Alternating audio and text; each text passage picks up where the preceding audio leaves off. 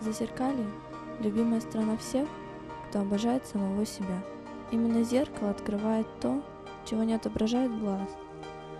Я не буду мучить вас рассказами о сетчатках и радужках, но зеркало, оно поражает воображение.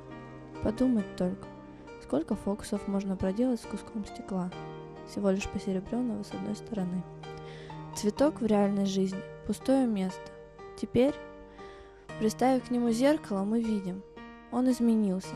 Натура как бы исчезла, на лепестке опустился и свет, и полумрак. Красиво.